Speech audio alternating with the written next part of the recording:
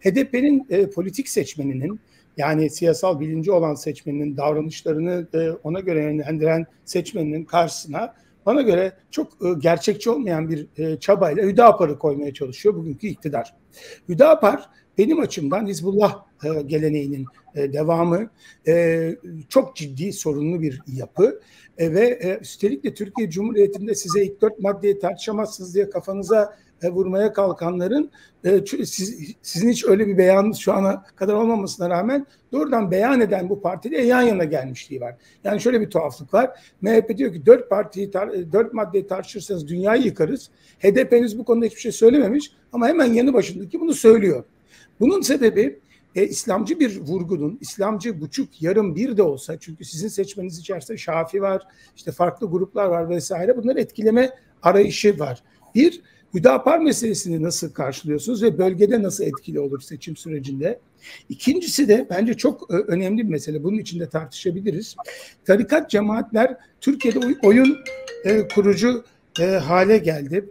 Dolayısıyla tarikat ve cemaatlerin tarikat ve cemaatlerin laiklik kaygısından kaynaklı olarak toplumu son derece tehdit ettiği bir dönemdeyiz. Sizin e, laiklikle ilgili kanaatiniz nedir? Bir de bir dönem meleleri, meleler üzerinden de bir siyaset yapılma e, çalışması vardı. Artık din adamlarının bütün feodal ilişkilere rağmen siyasetten biraz çekilmesi gerekmiyor mu? Hani e, bugün Ezge e, Uğurlu sizin seçmeniniz e, ama çok şey e, sorulmasını istedi bir kadın olarak. Ben kadın olarak tehdit altında hissediyorum dedi kendisini. Ve biliyorsunuz çocuklara tecavüz falan. Hüdapar, tarikat, cemaat ve mele meselesini ben kesmemek için uzattım. Size bırakmak istiyorum. Ne düşünüyorsunuz? Ya bir kere Hüdapar'la görüşmelerinin ya da e, bu de, devam eden süreçte yapılan tartışmaların e, Kürt toplumunda bir karşılığı yok. Bunu özellikle ifade etmek istiyorum.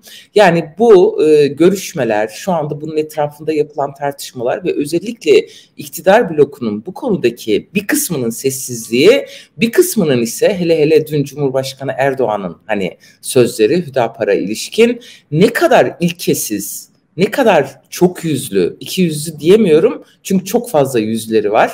E, bir siyaset izlediklerini aslında e, itiraf ediyorlar, ilan ediyorlar. Yani bir yandan işte e, Kürt düşmanlığını tırmandıran e, Japonya'da Kürt e, kursuna Dışişleri Bakanı düzeyinde itiraz eden, diğer yandan işte başka bir yere gelince oy ihtiyacı olunca bunu iki yüzlüce ve ilkesizce savunan bir iktidar aklı var. Yani şu anda hakikaten e, kafaları da karışık, yolları da karışık, ne yaptıklarının farkında değiller. Yani 100-150 bin ya da 50 bin oyun peşinde e, bütün bir e, geçmişlerini, sözlerini, e, siyasetlerini tamamen bir kenara bırakacak kadar e, yoldan e, sapmış bir e, durumdalar. Onlar açısından, bizim açımızdan değil. Yani bizim bu konudaki tutarlılığımızı e, anlatmayacağım. Soru gelirse tabii ki söylerim. E, tarikatlar, cemaatler, inanç, laiklik bu konudaki yaklaşımımızı biz programımızda, tüzüğümüzde, ilkelerimizi ortaya koyduk. Bizim için herkesin tabii ki inancını özgürce yaşama hakkı vardır.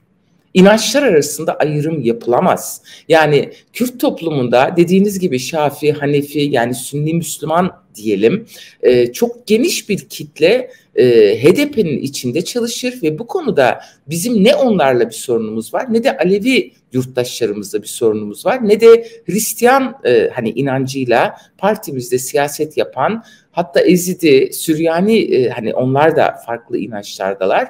E, biz dinler arasında ayrımcılık yapılmasına da bir dine bir inanca dayanarak siyaset yapılmasına da karşıyız. Yani bu yönüyle iktidar geçmişte cemaatle kurduğu ilişki, bugün farklı farklı isimlerle, e, tarikatlarla, cemaatlerle kurduğu ilişkide de tamamen pragmatik, tamamen çıkara dayalı, seçmenleri maalesef din istismarı üzerinden e, kendi etrafında, çeperinde tutma çabasından başka hiçbir şey değil. Yani herkes bu ülkede eşittir, herkes özgürdür ve anayasada çok temel bir ilke var, din ve vicdan özgürlüğü.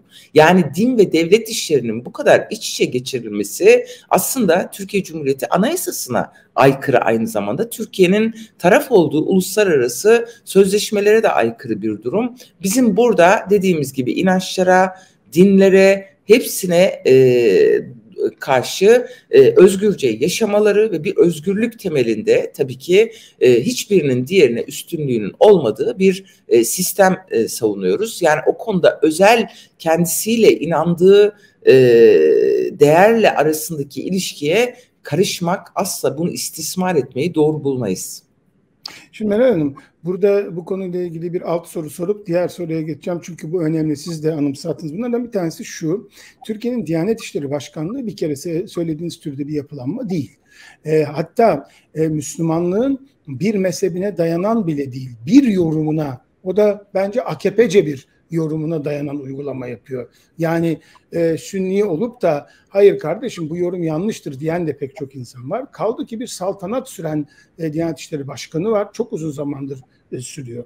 Bir bu konuda ne düşünüyorsunuz? Yani Diyanet'in bu haliyle ne Aleviye, ne e, Hristiyana, ne Museviye, ne farklı bir inancı hizmet vermediği açık. Bütçesi devasa. O yüzden laiklik yeniden Türkiye'nin gündeminde. Bir bu. İkincisi menzil tarikatı, İsmail Ağa gibi yapılar siz de biliyorsunuz ki e, neredeyse Fethullahçı kadroların tamamının yerine gelmeye çalışıyor. Menzilcilerin hastanelerini biliyoruz, ekonomik koşullarını biliyoruz. İsmail Ağa cemaatinin işte lideri vefat ettiğinde arkasında bütün devlet erkanı durdu falan.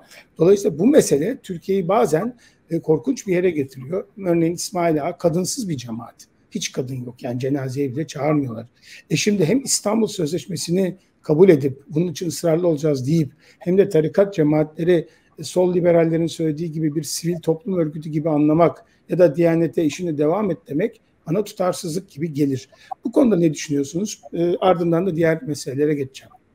Ya Diyanet İşleri Başkanlığı'nın çok sıkıntılı işlemlerinin, imzalarının, açıklamalarının olduğunu e, biliyoruz, yaşıyoruz ve buna karşı yeri geldiğinde zaten yanıtlarımızı ve yaklaşımımızı da ortaya koyuyoruz. Ne kadarlık e, araç altında, e, ne kadarlık bütçesi var bunu Plan Bütçe Komisyonu'nda, Genel Kurulda ve halkla buluşmalarımızda e, zaten ifade ediyoruz. Evet bir dini Diyanet İşleri Başkanlığı tek mezhebin, tek inancın aynı zamanda tek mezhebin başkanlığı gibi e, hani faaliyet yürütüyor. Cemaatlerle ilişki oldukça tarihin en sıkıntılı e, içeriğine sahip tarikatlar da e, aynı şekilde ve maalesef bunların adlarını işte İsmail Ağa cemaati gibi e, 12 yaşındaki bir çocuğun evliliğiyle duyabiliyoruz ya da başka bir cemaati, başka bir tarikatı başka şekillerde duruyoruz. Bir kere kadına yönelik yaklaşımlarının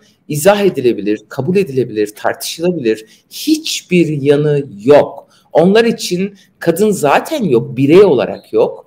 Yani bırakın e, e, kadın o cinsiyet kimliği birey yurttaş değil kadın. Yani kadının iradesi yok sayılıyor. İşte daha düne kadar maalesef 6284'ü tartıştık. Böyle bir e, dehşet verici bir gündem olabilir mi? Yani kadınlar şiddet görsün inancımız bunu emrediyor. Yok böyle bir şey. Yani Türkiye'de 50 milyonu aşkın kadın toplumun yarısı buna izin vermez. Bizim bu konudaki yaklaşımımız özgürlükçü laiklik temelinde ve kesinlikle bu istismara, e, bu din e, adı altında yapılan e, yaklaşımları kesinlikle kabul etmediğimizi e, her fırsatta ifade ediyoruz ve bundan sonra da bu yaklaşımımız devam edecek.